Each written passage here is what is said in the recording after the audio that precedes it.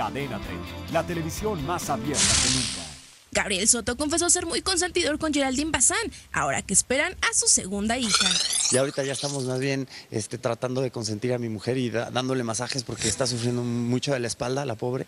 Este, pues ya estamos a casi un mes y medio o menos de, recibir a nuestro angelito, entonces ya son diferente tipo de achaques, ya los antojos y los mareos y eso ya pasó hace mucho. Y es que el actor ha estado preparándose desde la llegada de su pequeña Elisa, leyendo y tomando cursos para estar más que listo en su faceta como padre.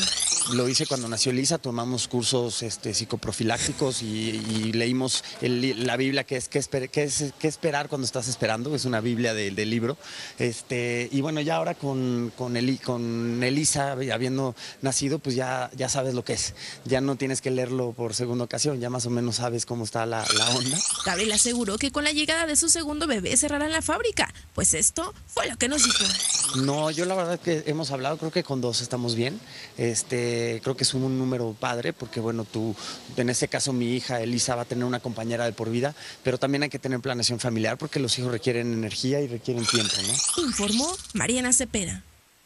Adolfo Infante, suscríbete a nuestro canal de YouTube y entérate antes que nadie de lo que hacen tus artistas favoritos. Empieza ahora mismo dándole clic a estos videos.